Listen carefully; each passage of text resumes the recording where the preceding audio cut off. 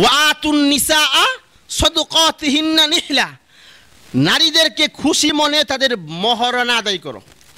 এই যে কাবিন মহারানা, এটা নিয়ে দুনো পক্ষের কন্যা পক্ষ এবং পুরুষ পক্ষ মানে বর পক্ষ দুজনই বাড়াবাড়ি করে।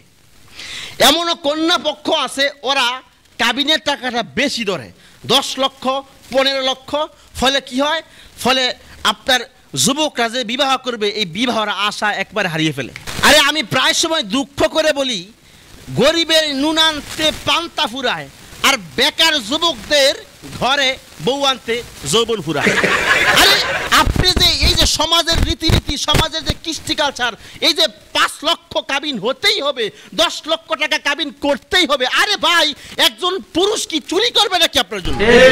সর্বনিম্ন মহারানা হলো দশ দিরহাম। হিসাব করলে বেশি থেকে বেশি দেখা যাবে দুই থেকে চার হাজার টাকা। এই দুই থেকে চার হাজার টাকার জন্য যদি একবারে সমাজে আপনারা বিবাহকে কঠিন করে ফেলেন যেই সমাজে বিবাহ কঠিন ওই সমাজে জিনা ব্যবচার সহজ। কারণ ছেলেরও বিবাহ হবে না, মেয়েরও বিবাহ হবে না, যৌবনের জ্বালা আপনারও আছে, মেয়েরও আছে, আমারও আছে। ফলে কি হবে? জিনা লিপ্ত হবে। যেই সমাজে বিবাহকে কঠিন করে ফেলেন কাবিনের নামে যেই সমাজে বিবাহ কঠিন করে ফেলে, ওই সমাজে জিনা ব্যবচার সহজ হয়ে যায়। যেই সমাজে বিবাহ কঠিন, ওই সমাজে জিনা সহজ। যেই সমাজে জিনা বেশি হবে, ওই সমাজে আল্লাহর গজব নাজিল হয়ে যাবে।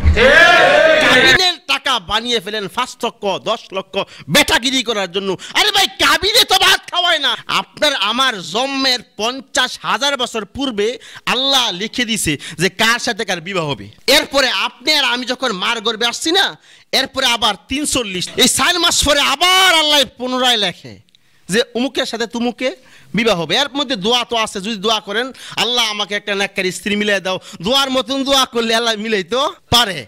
এখন যেই বিবাহটা আল্লাহ এত সহজ করেছে, ওই বিবাহটা কাবিনের নামে আপনারা কঠিন করে ফেলেন। আর বিবাহ কঠিন করলে সমাজে জিনা বেবিচার বেড়ে যাবে।